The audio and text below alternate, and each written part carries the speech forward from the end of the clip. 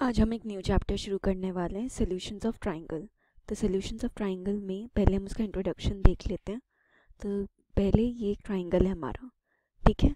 ये अगर वर्टेक्स है ए बी सी तो इनमें एक रिलेशन होता है एंगल्स में that is angle of A plus angle B plus angle C ये होता है 180 डिग्री के इक्वल ठीक है?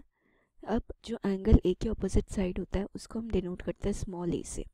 एंगल बी के ऑपोजिट साइड को स्मॉल बी से एंड एंगल सी के ऑपोजिट साइड को स्मॉल सी से। तो ये भी एक रिलेशन इनमें होता है कि sum of two sides of a triangle sum of two sides of a triangle is always greater than the third side it is greater than the third side इसका मतलब क्या हुआ? कि या तो A plus B is greater than C और A plus C is greater than B और B plus C is greater than A तो ये तीन रिलेशंस होते हैं साइड्स में। अब इन फोर रिलेशंस के अलावा और भी बहुत सारे ट्रिग्नोमेट्रिक रिलेशंस होते हैं कोई भी एक ट्राइंगल के लिए। तो इस चैप्टर में हम वो सारे रिलेशंस देखेंगे और उनके एप्लीकेशंस देखेंगे। तो आज हम इस वीडियो में देखेंगे कि साइन रूल या लॉज ऑफ़ साइन ये क्या होता है। ठीक है? तो हम फ़र्स्ट देखते हैं व्हाट इज़ साइन रूल पहले हम इसको डिफाइन कर लेते हैं। तो साइन रूल का डेफिनेशन है that the sides of a triangle the sides of a triangle are in proportion proportion to the angles opposite to them. मतलब अगर साइड ए है तो वो एंगल ए जो उसके अपोजिट है, उसके प्रपोर्शन में होगा। ठीक है?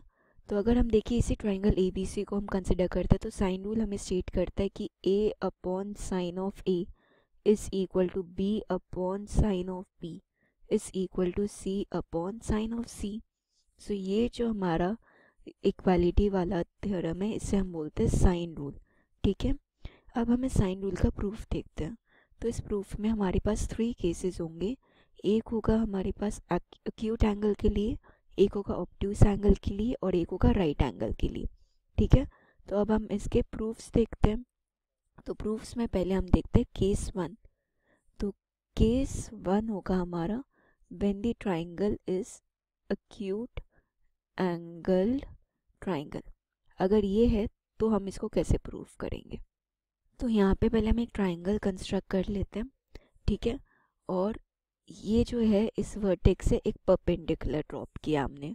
तो ये ट्राइंगल जो है, ये हमारा ट्राइंगल है ए बी सी और ये परपेंडिकुलर है डी अब ए के ऑपोजिट साइड जो होगा स्मॉल ए बी के ऑपोजिट साइड हमारा है स्मॉल बी और एंगल सी के ऑपोजिट साइड है स्मॉल सी तब हमें इसमें प्रूफ करना है। तो अगर हम देखें ट्राइंगल ए बी डी में तो हमारा साइन ऑफ़ बी जो है, वो होता है perpendicular upon hypotenuse that is यहाँ से आएगा sine of B is equal to A D upon A B that is equal to C similarly अगर हम साइन सी देखते हैं तो ये कितना हो जाएगा? ए डी अपॉन ए सी तो यहाँ से आएगा sine of C that is A D upon B ये आ गया।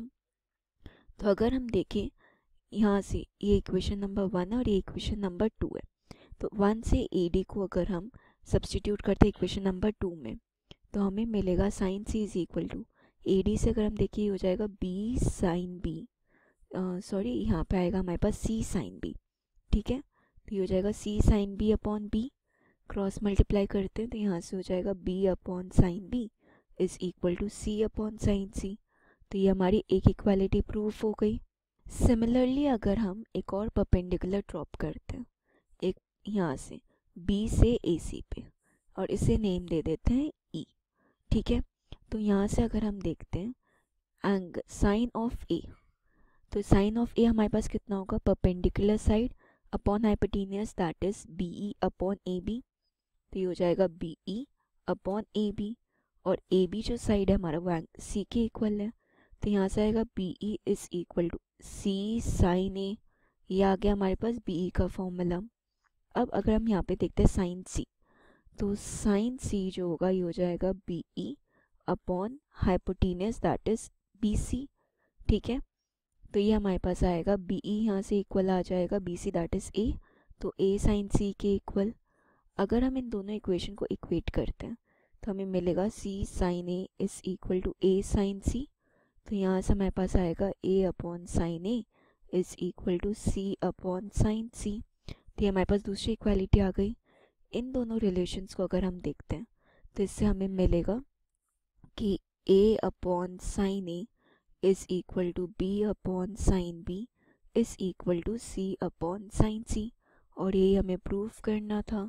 सो हेंस प्रूफ्ड तो ये केस में हमने क्या देखा कि अगर हमारा ट्राइंगल एक्यूट एंगल है तो हमने इसका प्रूफ की कैसे देख, करना है।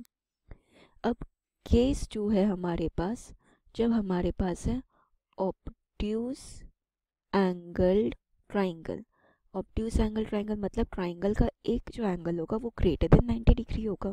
तो पहले हम एक ट्राइंगल कंस्ट्रक्ट करते हैं।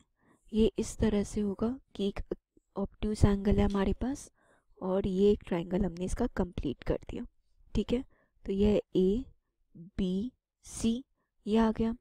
ये साइड हो गया स्मॉल ए ये साइड है हमारा small B and this is side C ठीक है?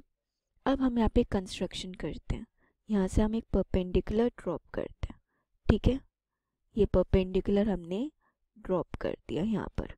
तो इसको हम ले लेते हैं डी अब हम यहाँ पे अगर देखें sine of angle A B D तो ये कितना होगा? परपेंडिकुलर अपॉन हाइपोटेनियस अब एंगल ए बी डी जो है तो angle A B D plus angle A B C ये 180 डिग्री के इक्वल होगा।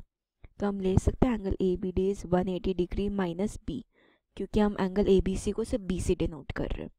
तो ये हो जाएगा sine of one eighty degree minus B is equal to A D upon A B that is C तो यहाँ से हमारे पास आएगा A D is equal to C sine of one eighty minus theta is sine theta तो C of sign B तो हमारी A D की वैल्यू हो गई। अब हम sine sine of angle C देखते हैं।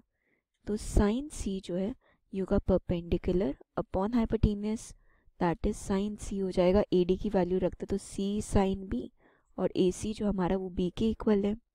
दैट मीन्स इसको रीअरेंज करें तो ये हमारे पास आएगा. C sine C is equal to B upon sine B तो ये हमारा एक रिलेशन आ गया. अब, अगर हम यहाँ से देखें, हम एक और कंस्ट्रक्शन करते हैं.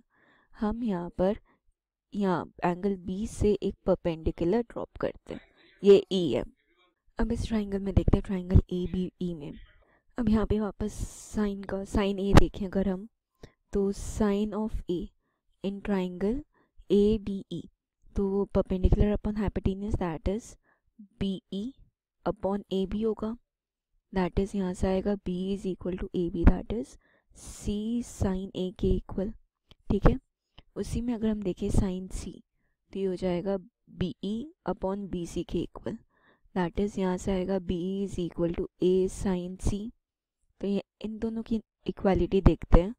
तो हमारे पास आएगा कि C sine A is equal to A sine C that is A upon sine A is equal to C upon sine C हो जाएगा।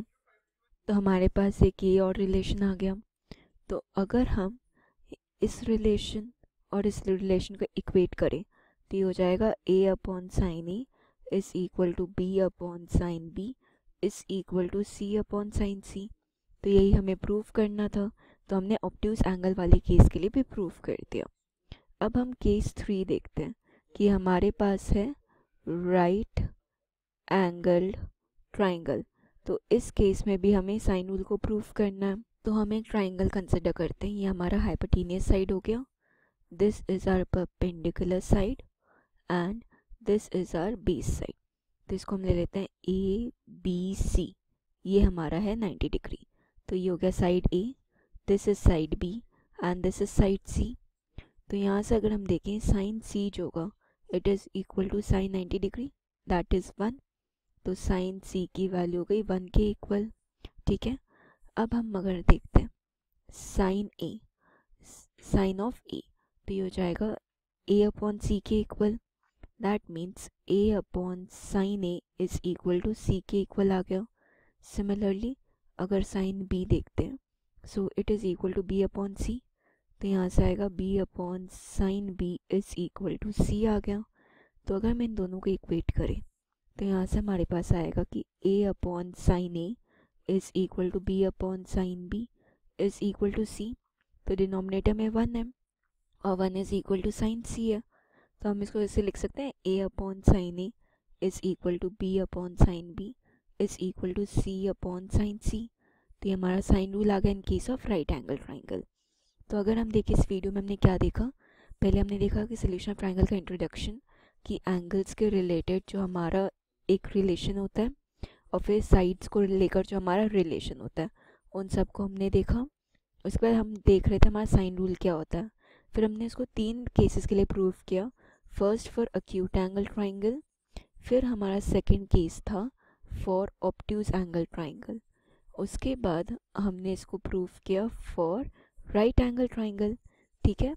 तो ये one of the important relations हैं एंगल्स के बीच में. दैट इज़ साइन रूल और law of sines next video में हम इसका एप्लीकेशन देखेंगे.